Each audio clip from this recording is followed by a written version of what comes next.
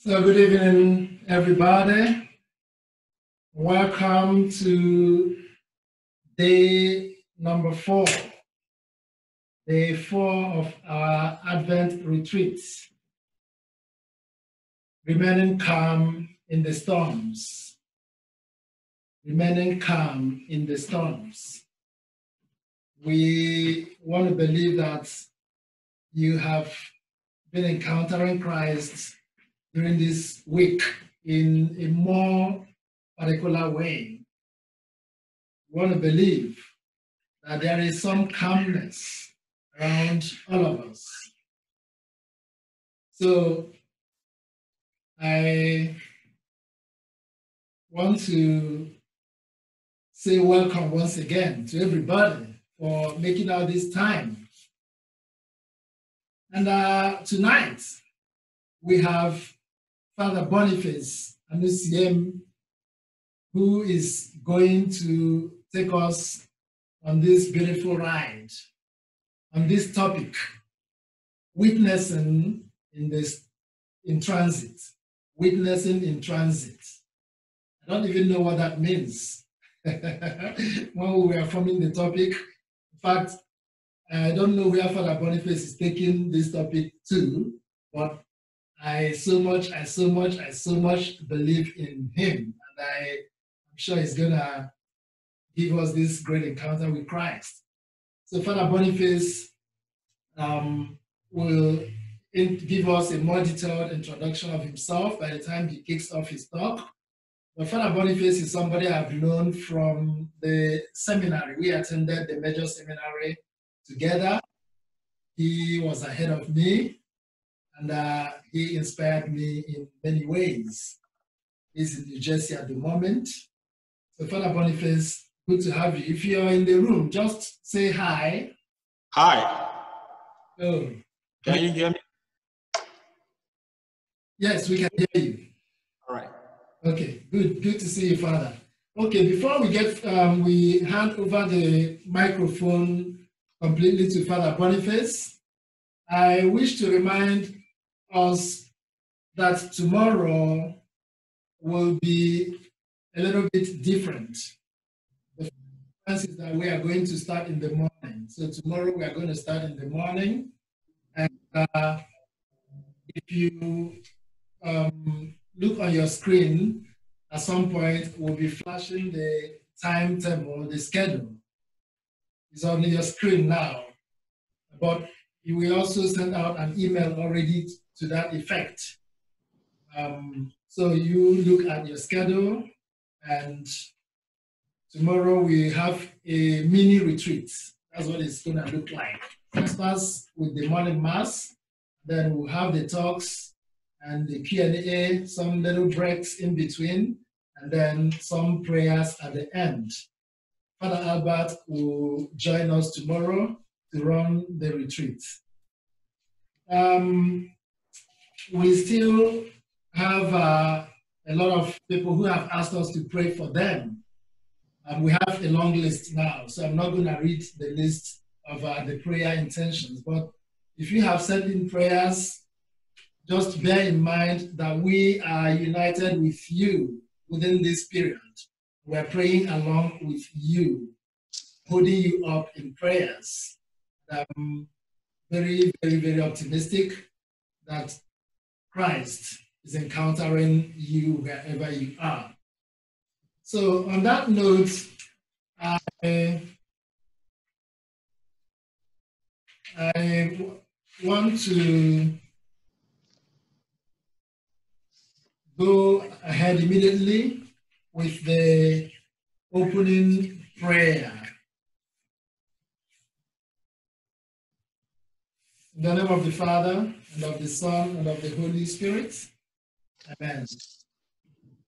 Come, Holy Spirit, fill the hearts of your faithful, and kindle in them the fire of your love.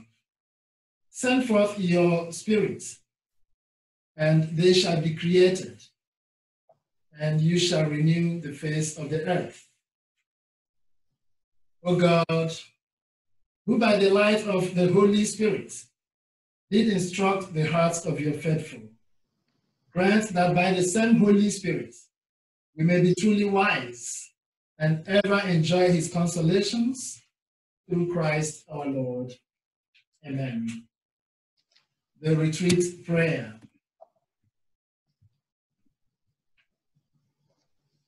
Jesus, you invited the apostles to come away with you to a deserted place and rest a while.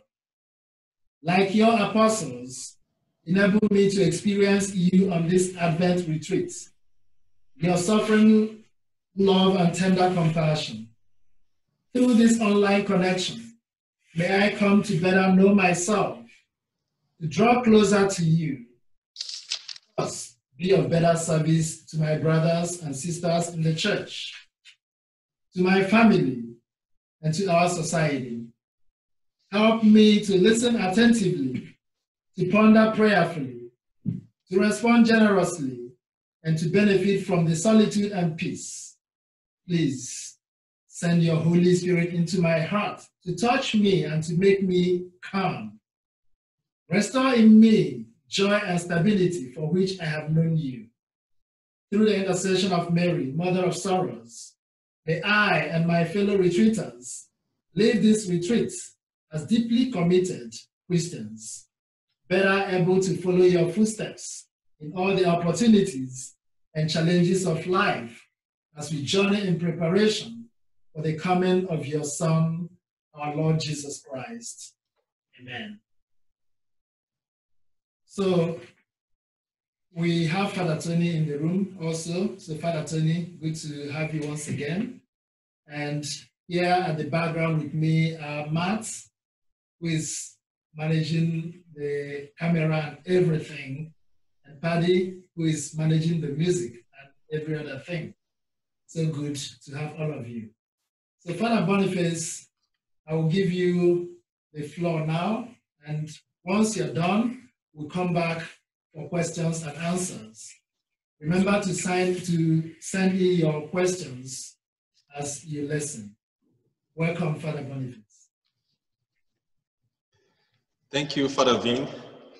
Uh, I must say again that I'm very excited to be part of this um, highly interesting and engaging retreat organized by Father Vin and the family apostolate. Uh, like Father Vin said, I have a very delightful narrative with him. We come from the same state in Nigeria. Uh, we attended the same seminary. Uh, we both play soccer He's very good. I don't know if he's still playing now. Maybe he switched to American football. and um, there's something that we do together. He will laugh hard when I recount this. In the seminary, we have a very quiet place where we go to read. We hide to read, um, especially during exams. So we go there, and it's a very quiet corner and there's another priest that always comes to stay with us. Well, he's not a priest, he was still a seminarian then, but he's not a professor in the seminary. So we go there to read during exams, and I know that Father Vin recalls that experience with so much delight. So um, I want to introduce myself. I am Father Boniface, like he said. I, I come from a family of eight. We have um, six males in the family and two females. I am the last. I call myself an accidental child. Sometimes I ask my mom, why do you guys decided to have me when you already had seven kids? And she never answered that question. She just laughed. I know I was accidental, so they don't need to tell me that. Coming last.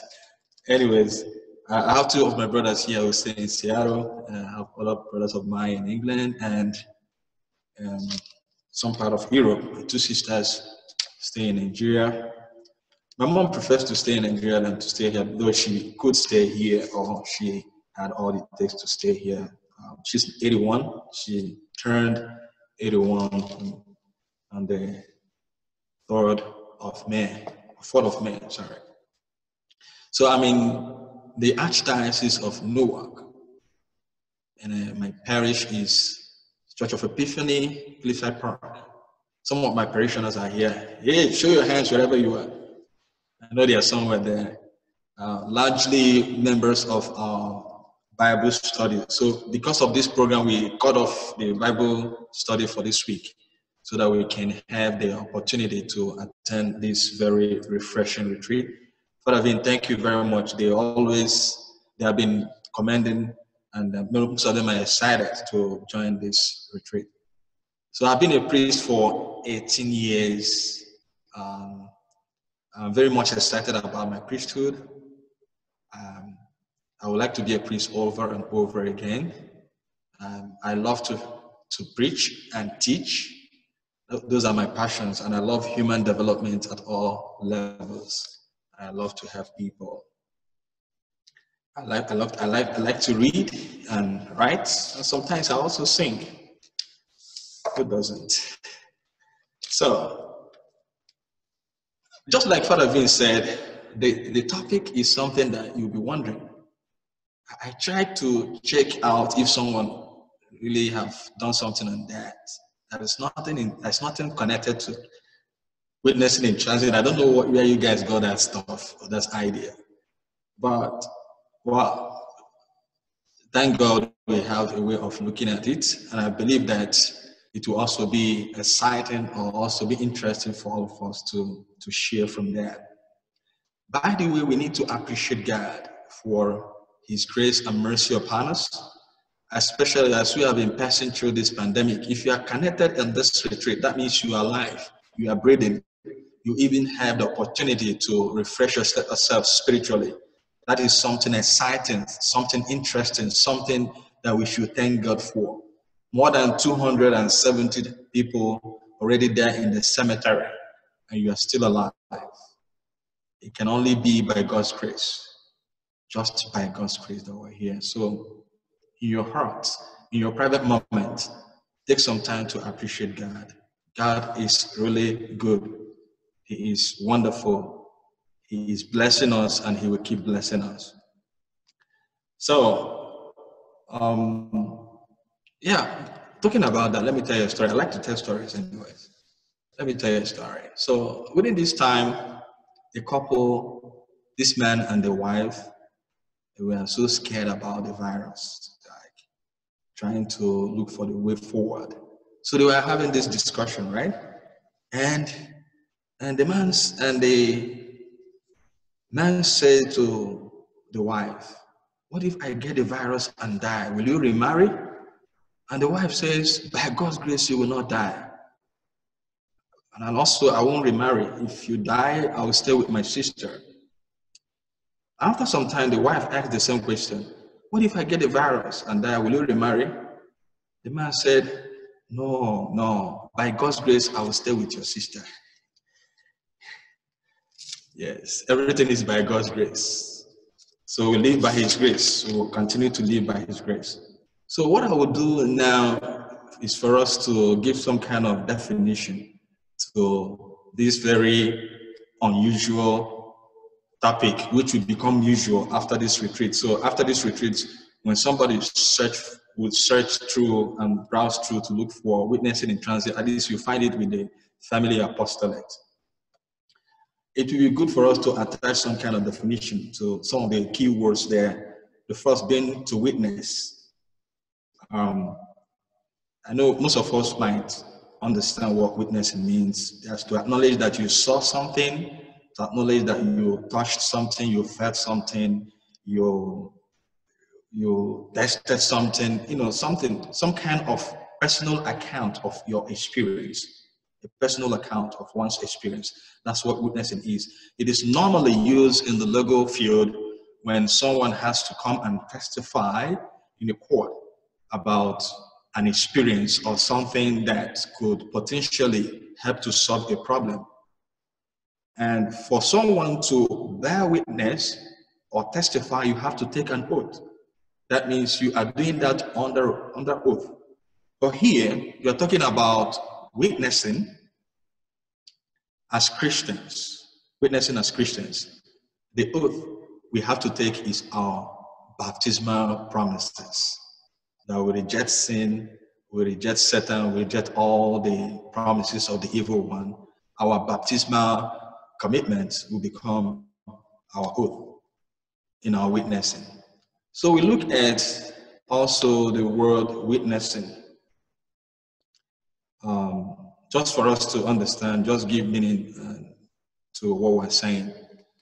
So when we talk about witnessing, we're talking about giving an account, but we're talking about transit. It means moving from one location to the other. Moving from one location to, to the other. It could be said like when you are in a journey, um, when you are going from one point to the other, you are in transit. So if we are looking at this transit from the point of view, from the physical point of view, we might not get the whole point. So we'll be looking at it both from the physical point of view and also from the spiritual point of view. Because essentially, life is a journey. And most of my reflections, I tell people that life is a journey. Or most of the time, people hear me say, in this journey called life. And this journey called life. So life is basically a journey.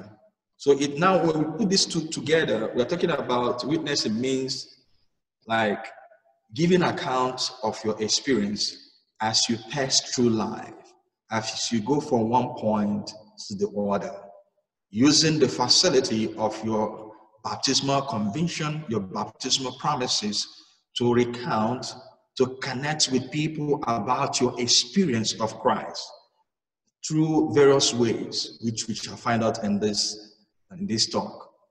Being able to tell people about Christ, share your experience of Christ, your personal experience of Christ as you move from one point to the other, both physically and also in your spiritual life.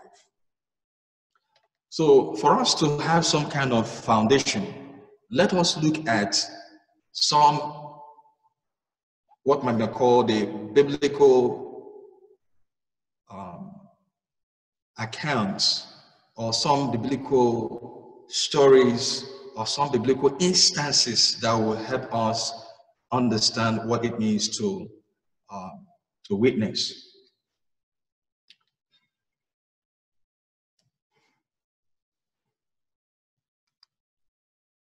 So I will begin with Abraham.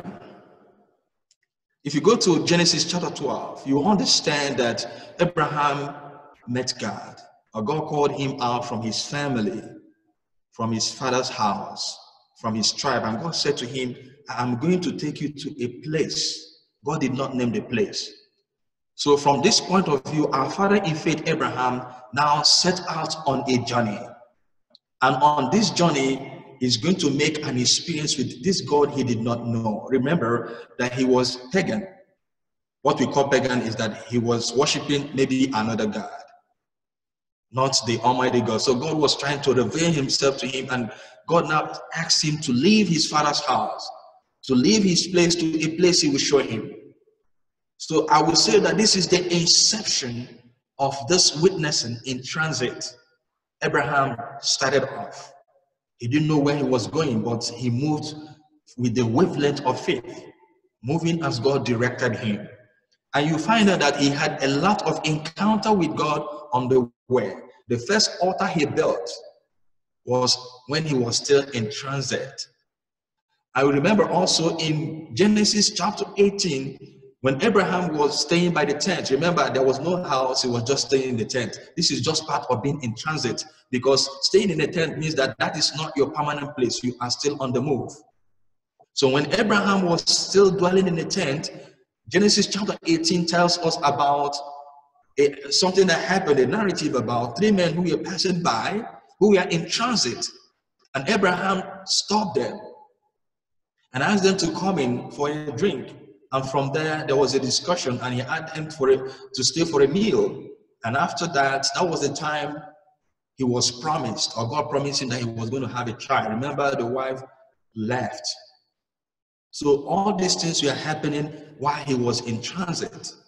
We also know the story of Jacob in Genesis 32 from verse 22 to 32. Jacob was running away from his brother Esau after he took his birthright. We know the story. But then while he was in transit, he had this dream of a ladder coming up from to heaven. Uh, angels were going up and down. And that same night, he wrestled with God. This was happening while he was in transit, an experience, an, an encounter with God happening while he was in transit. We also know the story of Moses in Exodus chapter 3, when Moses encountered God at the burning bush. Moses was in transit. He was taking care of the flock of his father in law Jethro, and then he, he saw this bush that was burning but was not consumed. And then he wanted to go nearer to find out what was going on. And God, he heard a voice that said he should remove his sandals, but he was standing in a holy place. And then God revealed himself to him um, um, as the, the God of their father, the God of Abraham, the God of Isaac, the God of Jacob, the one who made a promise, and then sent him on a mission to deliver the people of Israel, to bring the people out from Egypt to the promised land. And this was happening after 400 years, the people were in bondage of slavery in Egypt. So this encounter of Moses was in transit. Now the people of Israel left Egypt. If you start reading from Exodus chapter 13, and then in Exodus chapter 14, they had to cross the Red Sea. This was happening in transit. God showed his power and might through a Moses, whom he used to divide the sea, and the people passed on dry shore. God was still showing himself to the people in where they were still in transit. We also know that they came to the place where they, they came to the Mount Sinai. If you start reading from Exodus chapter 19 from, from uh, to chapter 20, where, Abraham, where Moses also got the, the Ten Commandments. So God showed himself, his might. He appeared to the people. He ministered to the people. Moses had a lot of encounter with God while they were still on transit. Remember, these people were on transit for 40 years. So there's no way we can say that this was outside the ambient of witnessing because God was showing himself to the people. They were trying to learn about God. They were trying to understand this God. For 40 years, they were in transit for the promised land. So these are some of the instances in the Old Testament I was able to like bring out so that we can reflect upon them. There are other instances, but I want to go over to the New Testament. And in the in the New Testament, we see this happening also with the starting with the ministry of our, of our Lord Jesus Christ, the ministry of Jesus Christ. And the ministry of Jesus Christ was basically a ministry in transit. The Galilean ministry was in transit. It was in transit that Jesus called his first disciples. If you go to the account of Matthew chapter 4 from verse 18 to 22, remember the calling of uh, Simon Peter and his brother Andrew and James and John, the sons of Zebedee, who were fishermen. This was happening while Jesus Christ was in transit. And there are other people also Jesus called while he was on transit. Remember Matthew? Remember also the encounter he had with um, with Zacchaeus when he asked him to come to his house. That we see in Luke chapter 19. Now, the, there are other healing instances. For instance, the healing of the woman with the issue of blood we see in Luke chapter 8 from verse 43 to 48. Jesus was moving in the crowd. In fact, actually, a man invited, invited him because the, the child who was 12 years died. Jesus was on his way to, to Jairus' house when this woman showed up. And Jesus was in transit. And this woman saw Jesus in transit, and then she she used that opportunity to touch our Lord Jesus Christ because she said to herself, she didn't say to anyone, she said to herself, if only I will touch the hem of his garment, I will be healed. And that's a lesson for us. When you have something very great to do, pray to God. Sometimes when we tell people they will discourage us, maybe if she told, she told a friend or someone, a family member, they would ask her not to go. Remember what happened to Bartimaeus, the blind man. Also, Jesus also met Jesus also while in transit. We see that in the Gospel of Mark, chapter 10, from verse 46 to 46 to 52. He was Jesus was in transit. So this woman, seeing Jesus in transit, used that opportunity to gain her healing. And when she touched, she was healed. And that was an intentional touch she had on Jesus on transit. I want to tell you, when Jesus was touched, Jesus stopped, remember the story, and said, Who touched me? And the disciples were like, There are many people in the crowd. Many people are many people are touching you. So why do you ask who touched me? And Jesus said, No, someone touched me. So there could have been about three types of touch in that crowd. There are many people who touched Jesus Christ accidentally. It was not intentional. They touched him by just without even knowing they touched him because it was a lot of, a lot of people. There may, could have also been some people who touched Jesus Christ because they want to establish some kind of familiarity. Like, oh, I, I touched him. Oh, this man, I touched him. I have touched him before. If it were to be in our own time and day, some people will go with their phones and take selfies, you know, like to show familiarity. But in the midst of all these people, one woman among all the people in the crowd said, I am going to touch because this touch is going to transform and change my life. I'm not going to make an accidental touch. I'm not going to make a familiarity touch. I'm going to make an intentional touch that will change me, that will transform me, that will get me out from 12 years of suffering. And as she touched the Lord, her life changed. The source of the blood, the Bible said, dried up. Sometimes I begin to also wonder that most of us touch Jesus every day. We even have the privilege of holding him in, in our hands. What really happens when you touch Jesus? Do you touch him accidentally or familiarity wise? Maybe I always receive communion, or um, people are going, let me go. Or when you're coming to touch Jesus, do you tell yourself, like that woman, I'm going to touch Jesus, and I know that something will change in my life. I'm going to touch Jesus, I know that I will be changed. I'm going to touch Jesus. I know that this sickness will give way. I'm going to touch Jesus. I know that this situation I'm facing will now give way to the grace and the power of God in my life. I want you to try it. Next time you want to touch Jesus Christ in the Eucharist, be very intentional, be very prayerful. Don't just get up from your seat and start going. Be intentional that when I touch Jesus, something will change in my life. When I touch Jesus, I will be healed. When I touch Jesus, something new will happen in my life. My dear friends, these are all the things happening. Remember the story of the 10 lepers in Luke chapter 17. They were on transit. Jesus was on transit. And then they saw Jesus and they say, Lord Jesus, have mercy on us. Already they, Jesus knew what they wanted, wanted from him because they were in a colony of lepers. And Jesus told them, Go and show yourself to the priest. And as they were going, they were healed. They were cleansed. The first thing is that they were cleansed. And one of them, finding that he has been healed, came back to Jesus Christ and to give thanks. This, all these things were happening while they were on transit. Remember the cripple of John chapter 5, from verse 1 to 15. A, man was at the pool of Bethesda, sitting there for 38 years. This man could not be healed because the narrative of the scripture tells us that sometimes an angel of God will come from heaven and stir up the waters, and the first person that gets in there will be healed. And this man had been there for 38 years. No one was able to help him get into the pool. But on this day, Jesus was passing by. Jesus was in transit. And when Jesus saw this man who was also in transit because but he had difficulty in his own transition because nobody could help him to transit into the pool and he was there until Jesus passed through. Jesus was transiting. Jesus was not transiting for nothing. He was passing through in order to bring healing to him. The man was there for 38 years until Jesus showed up and he asked the man, Do you want to be healed? And he was thinking that it was going to be a, a physical healing that Jesus could help him transit him to the pool from where he was. But Jesus was not talking about that kind of healing. And the man said, "I and rightly so, there is no one to help me. That means no friend.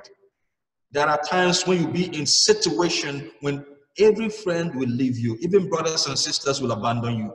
But I remember what the word of God says in Psalm 27, verse 10. It says, Even if father and mother forget you, I, the Lord, will take care of you. So Jesus Christ come to take care of this man. And he asked him, What do you want? Say, no one can help me. And Jesus asked him to take up his mat and work. And the man obeyed and he started working for 30, for 38 years. This man was there, but something happened one day. It could be your own story. It could be you are looking for something and it is taking time and you're wondering, when will this be over with my finances? It could be a relationship problem. It could be something bothering you. You have tried. Yes, you have tried. You want to give up. You want to give up. I, I don't want to stay there. Maybe the man could have also gone home. What if he says to himself, 38 years, what am I still doing here? Let me go home. Maybe Jesus would have met someone else, or maybe nothing would have been heard about him, but he stayed in the game. Sometimes the only thing you need to do is just to be consistent. Stay in the game. Don't look up. Don't don't ever ever give up. And I want to tell you something. When you get so hard in life and you want to check out, before you check out, check up and see if God is near. He could be very near to you. And that was what happened. Remember, this was happening as Jesus was in transit. He was in transit. Now, I want to also to give you some instances with the parables of Jesus. In some parables of Jesus, examples from the parables. Look at the parable of the Good Samaritan, which is a perfect example of witnessing in transit. Two individuals were in transit a man was coming back, the other one was going. So this other man, maybe he had money or something, and then he met thieves and robbers on the way. They took his money, wounded him, and left him half dead. And then there were people who were passing by. This man was leaving Jer- Jerusalem. He left Jerusalem, the, the place of peace, and he was going to Jericho. Jericho happens to be some kind of dangerous. He left the region of peace. Jerusalem means the city of peace. He left the area of peace, the territory of peace, and he was going to the place of pressed vine, a place where he would be crushed. And he fell into the hands of brigands. They dispossessed, they dispossessed him of what he had, and they left him half dead. Now, something happened. Some people were passing by, they left him. All these people were in transit. But there was someone who was in that journey who made a difference, a Samaritan. A priest passed by and could not do anything. A Levite passed by but could not do anything, and others. But a Samaritan was passing by, still in transit, and he stopped to help this man. Took him to an inn, paid for his treatment, and also promised to always come back to check on him. All these things were happening in transit. Jesus used it as this parable to teach the lesson that we need to be there for one another. It is a deeper expression it is a perfect example of how we can be there for one another, especially those who are in need. And this was what Jesus Christ used a parable showing how we can witness in transit, see someone in need, someone you do not know, someone that is unconnected with you, both by tribe, by language, by, by religion, but being able to stop to help because here is a human being that needs help. Other people who pass by were asking, if I stop to help this man, what will happen to me? Like the priest. I'm a priest, I will be defied. What if he's dead? I will not be able to perform my duties. The Levite, oh, if the priest could not stop, why will I stop? He had a reason for himself. But the Samaritan said, if I don't help this man, what will happen to him? Not to me. And that was why he said, my friends, this happened in transit. We also know the story of the prodigal son in Luke chapter 15 from verse 11 to 32. A boy left the house. He felt he could be by himself. He left the, the comfort of the family and he wanted to be by himself to begin to enjoy life the way he wanted. And he asked his father to give him his own share of their estate. The father did not argue. He gave him and he left. And he went to a distant country. Remember, the, the scripture says a distant country we don't have the name of the place, but call it distant country or a far country. That means this is a place that is disconnected from the Father. And that is as far as he is from his, the love of the Father. In the distant, distant country, nothing lasts. There will be famine. Everything seems to be going one way, but in a little time, you begin to face lack. You begin to lose it. That was what happened to him. And then he was in a distant country. Remember, this was a story of someone in transit. Look at the back and forth. He left the house to a distant country. In the distant country, something was happening that was not good. Then he wanted to come back again to the father's house. This is movement, transit. And in within that time, he had an encounter. An encounter. At the time, he was in lack, and he hired himself out when he could not support himself again, he now came to his senses. This is a point of, re- of return. If you, there is no way you can repent without coming to your senses, because sin makes us to lose our spiritual senses. Repentance means when you come back to your spiritual senses. And he came to himself, as some, some translations will say, he now remembered what he was missing. Then he had to travel back again. This is transit back to the Father. And then he, he, he recounted or he reversed or he rehearsed what he would tell the Father. I, I, don't, I have sinned against heaven and against you. I don't deserve to be called any one of your child. Take me as one of your servants. But the Father was not ready to take that. He asked him, come in, and he gave him all he lost. Nothing, he did not lose anything anymore. This happened in transit. Let me go over to tell us a little bit about this situation in the passion and death of Jesus Christ. Jesus Christ was arrested in transit at Gethsemane. He was arrested at Gethsemane. At Gethsemane, Jesus suffered in the hands of the devil. At that time, he was going through a lot. That was the real passion. Somewhere, some translation says that the sweat coming out from his face was like drops of blood. He was going through a tormentous moment, a torturous moment. And that was the time he was like, Can I go this way or not? Will I drink this cup or not? And at some point he says, Father, not my way, but let your way be done. This is the perfect prayer. That's the, the best prayer you can ever say. Father, let your will be done. In any situation you will be passing through in life, I, I want to tell you something. The will of God is perfect. The plan of God is so great. You can't change it. Somewhere the Bible tells us in the book of Jeremiah, chapter 29, it starts written from verse 11. It says, God says, I know the plan I have for you. It is not for destruction, it's for your peace, so that you have a future with hope. So God is not planning hopelessness for you. I wouldn't know the point where you be in your life at this point in time. It could be at you could be going through your Gethsemane moment.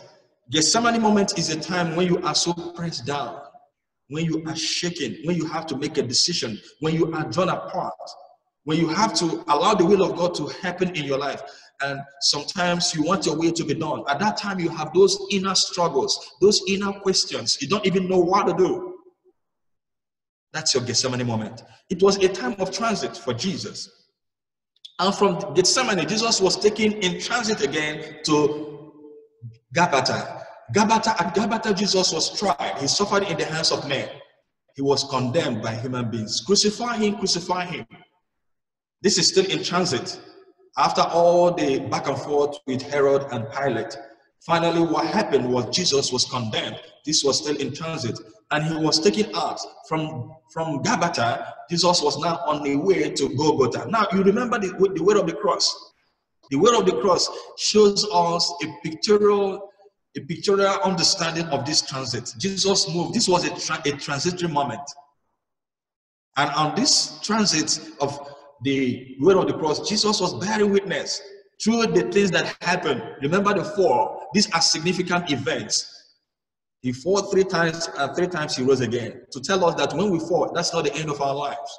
Even when you hit a brick wall, insofar as you have life, there is reason for you to rise again and start moving. You see Veronica's wiping the face of Jesus. That shows us that in transit, we are expected to wipe the face of one another. We saw uh, the Simon of Cyrene, Simon of Cyrene, sorry, who came to help Jesus Christ to carry the cross. We need to help each other carry the cross. We saw when Jesus was to be buried, another man came, Joseph of Arimathea, to help give him the tomb. presented his tomb, he, he made for himself as a present to the Lord. All these things were happening in transit to the cross. And on the cross, Jesus died. Remember, in John chapter 19, verse 30, says, It is finished. That was when he paid the price for our sin. All these things happened in transit. And at the end, there was redemption.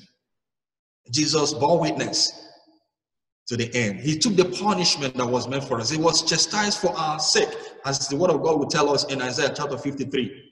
He was punished for our sins, but by his wounds we are healed. And all these things happened in transit. He was flogged, he was scourged on the pillar. All these things were happening in transit.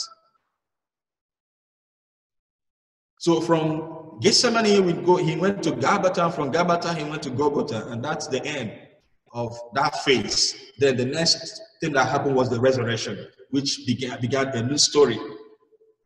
We also remember the event of those who were, when Jesus rose from the dead, the young people who were going to Emmaus, and they were discussing about the resurrection of Jesus Christ. This is witnessing in transit. Very significant. They were not talking about other things. They could have been gossiping. They could have been talking politics. They could have been making jokes, irregular jokes, dirty jokes. But they were talking about Christ. And because they were talking about Christ, Christ appeared in their midst. Let our discussion be about Christ. Sometimes we waste our times on things that do not matter. If the way we discuss politics and kill ourselves over politics is the way we talk about the word of God, just like we're doing in, in this retreat. We're not we're taking our time to talk about God, about our souls, about our Christian life. If that is the way we do that every day, our lives will be better. We waste our times we waste our moments talking about things that do not matter. On the way to Emmaus, on this transit, these guys were witnessing to Christ, and Christ appeared in their midst. And remember what happened when he came, he started telling them about himself. They didn't know about him, they didn't know he was the one. And he opened the scriptures to them. The word of God said that they were struck in the heart. And they, they, didn't want, they didn't want him to go. When they came to the point where they have to go, he said, Please stay with us. And Jesus stayed with them. And that night, while they were eating, he took bread and opened, and their eyes opened, and Jesus vanished. They met the Lord because they were witnessing about Christ while in transit. Now, I want to quickly go over to what happened during the apostolic times, the apostolic era. First would be the Pentecost witnessing in Acts of the Apostles, chapter 2. There we saw that the apostles received the Holy Spirit. And when they received the Holy Spirit, what happened? They came out. They were in hiding before. The word of God told us before in John chapter 20, they were hiding because of the Jews. But by the time they received the Holy Spirit, God, Jesus told them already in Acts of the Apostles, chapter 1, from verse 8, that they will have to stay in Jerusalem until they receive the power from on high. And when they received the Holy Spirit, they could not hold it they came out and began to do what? To witness. After the Apostles, chapter 2, from verse 7 to 12, tells us that travelers from all over the world, from Rome, from Egypt, from everywhere in the world, they heard them witnessing about Christ. These are people who are in transit and they heard people witnessing to about Christ. And some of them went home with this message. That was how the message about the resurrection of Jesus Christ was able to spread throughout the world. It went viral because of the witnessing of the apostles on the day of Pentecost. We saw also in the Acts of the Apostles the story of Stephen in Acts of the Apostles chapter 7 from verse 54 to 60. This guy was witnessing to Christ in transit. And that was how he was killed, the first Christian martyr. He was killed while witnessing to Christ in transit. We also know the story of Philip. The Philip, the one who converted the Ethiopian eunuch. You, you can read that in Acts of the Apostles, chapter 8, from verse 26 to 39. Philip was taken by the Holy Spirit to meet a man who was trying to read the scriptures but could not understand. And the Holy Spirit gave him utterance, and he witnessed about Christ to the man, and the man was converted. And they saw his trip, and the man said, What prevent me from being baptized? And he was baptized immediately and Philip was taken away. Witnessing in transit, my dear friends. We now look at the story of Saul, who became Paul. in Acts of the Apostles, chapter 9, from verse 9, from verse 1 going, he was a zealous Pharisee who was trying to stop Christians, remember? And he was on his way to Damascus to stop the Christians, to kill them. And then he encountered Christ, an encounter that changed his life. Light came from somewhere and blinded him. He thought he was seeing before, but he didn't know he was blind. But when the light of Christ came, he became blind to show that he was he has been blind.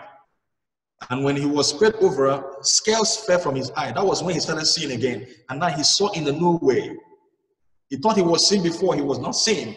But when after that encounter with Christ, he saw in a new way. So his conversion was in transit, and that was why St. Paul became a minister or an apostle in transit. Paul was always moving around. We know where he all the places he wrote letters to, he traveled. Went to the Corinthians, he went to, to Corinth, he went to Galatia, he went to a lot of places preaching the word. And finally, he went to Rome to appear about his case in, in, before the emperor. That was where he was be, beheaded and he died, witnessing to Christ in transit. Now, there are other instances, but because of time, we have to end here. But before we end, we have to go over to ask ourselves this question How do we witness to Christ? How do you witness to Christ? How can we witness to Christ? And my answer is we can witness to Christ through war. War. That's funny, right? War. W A R. War. To go to war. Don't mind me. That's an acronym. War. We witness to Christ in transit through war. W A Y. War, from my own understanding here, means first, through words. Through words. We have to share our experiences with Christ, testify about Christ. We have to witness through our actions. Our actions. Actions speak louder than voice or louder than words.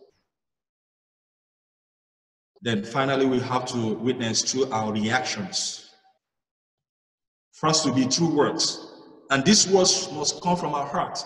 The word of God says that these people honor me with their lips, but their hearts are, are far from me. We have to witness two words that come from our heart. Our actions. Remember, Jesus says that we need to reflect Him.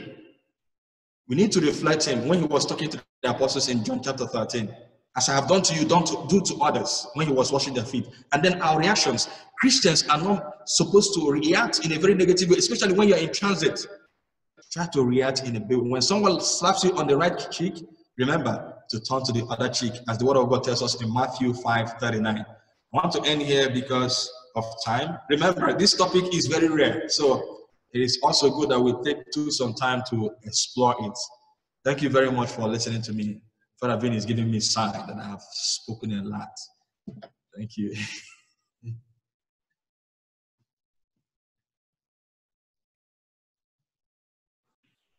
Father Vin, nobody can hear. Okay, yes. can you hear me? Yeah, we can hear you now. Okay. Hey, Father Boniface, yes, I was here giving you sign because uh, we were running out of time. But this is quite, quite an interesting topic um, taking us through hmm. the scriptures. It's like an adventure with the scriptures from the Old Wait, Testament through the New.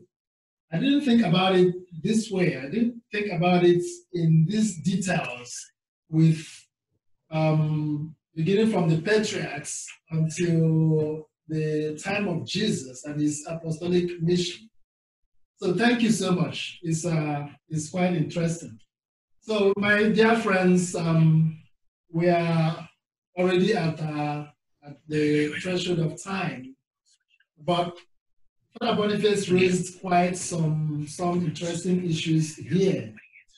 So witnessing in transit involves an encounter. It's an encounter. That's the thing. And that encounter is with our lives. It says words and actions. And as you do that, you keep encountering Jesus and encounter Jesus in others. And think about traveling and getting to the airport as an example. So Father Boniface, now my first question is, is it possible for Catholics to see a priest at the airport and seek to go for confession while they are in transit? Yes, I think I've done that before. I was I was I was somewhere actually in the airplane, and I brought up my rosary, and started a conversation with someone, and that led us to a lot of things, not excluding having this uh, receiving this facility. So it is possible, and that is why priests must always be ready if you are traveling to have a little bit of your your tiny stole, your tiny things around you, so that that will help you to attend to anything that comes on the way. So it is possible, very very possible. Prayer, uh, confession should not be only in the church or in the confessional. It can be done anywhere because it's also a part of one of those sacraments we can do anywhere. Okay. Yeah. You know, we started the drive-through confessions during the COVID. So yes.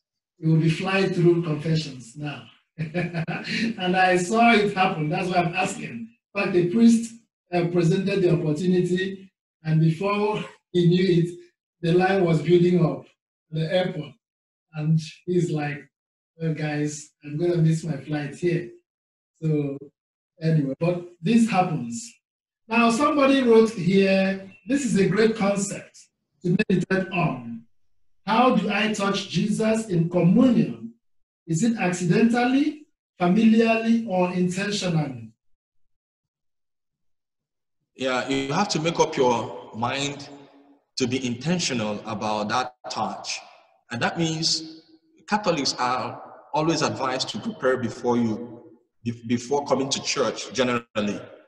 You have to make sure that you know you are going to make an encounter with Jesus, not just coming to church, that you're going to receive Him. And that is why we're asked to observe this one hour fast.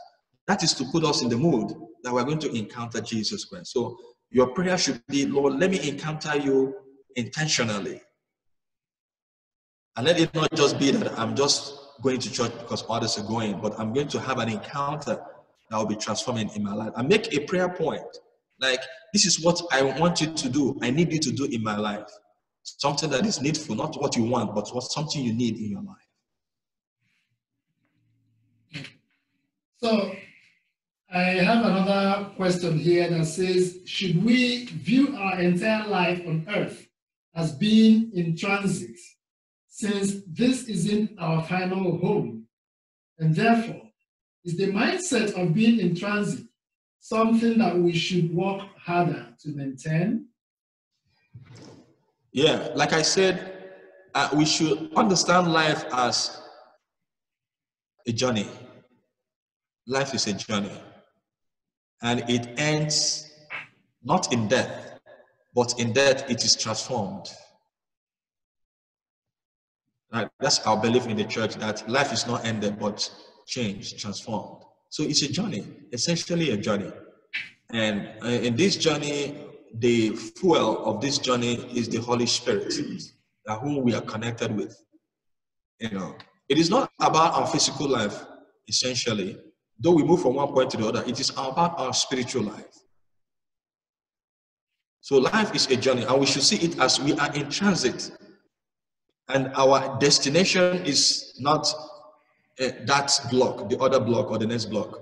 Our destination is heaven, and our journey should be inspired by God's Spirit. Thank you, Father. I think one of the things that touches me here is in practice, in practical terms, we all also encounter people in transit. Um, even in parishes, we have strangers who pass by. There are people who are confused because once you are in transit as a stranger, sometimes you get into things that you don't even understand. Cultural difference, you don't understand the culture. Societal difference, you don't understand the society. Um, even spiritual difference, because the way a culture worships is different from the way another culture worships. So this kind of um, reminds us of who we encounter. You gave an example with Abraham, who encountered the, the strangers without even knowing that those strangers are agents of God, and he welcomed them. So, my dear friends, as you listen to Father Boniface this night, think about what this encounter means for you. While you imagine encountering Jesus, the question will be where do you encounter Jesus? In whom do you encounter Jesus? While you are in this transit that is called life. That is what I think uh, we can make out of this great talk tonight. So, Father, thank you so much. It's so good to see you. You see, I'm seeing you in transit. We've been in the US now for years. so, so, so great. We have great times back back in the seminary. Um, and, uh, Thank you very much for that, babe. Appreciate you. So um, we don't want to go beyond 9 p.m. Please don't disappear, Father. Um, we're going to call you up again to give us your final blessings. But I want to remind everybody again that tomorrow we are starting with the 8.30 a.m. Mass. And immediately after the 8.30 a.m. Mass, we give a little break and log in again by 9.20 a.m. Um, we'll send you the link for logging in for tomorrow. It's not the same as today's own. We are going to use YouTube platform for tomorrow's uh, engagement. And I bet you will be good to end the process with us. It's gonna be fine. Father Albert already is with us. And uh, we will hope will end so well so that we continue this encounter with the Lord, even as we transit to other things. Thank you, everybody. Let us say the night prayer. Protect us, Lord, while we are awake. Watch over us as we sleep. That awake, we may keep watch with Christ, and asleep, rest with him in peace. Amen. God bless us.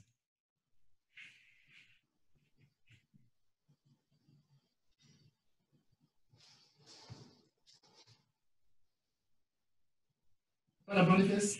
Yeah. Okay, the prayers, okay. Give us the blessing. All right. The Lord be with you. And with your spirit.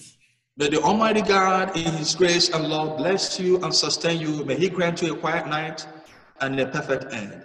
In the name of the Father, and of the Son, and of the Holy Spirit. Amen. Amen. Peace be with you. And with your spirits. Thank you so much. Thank you. God bless you. Good night.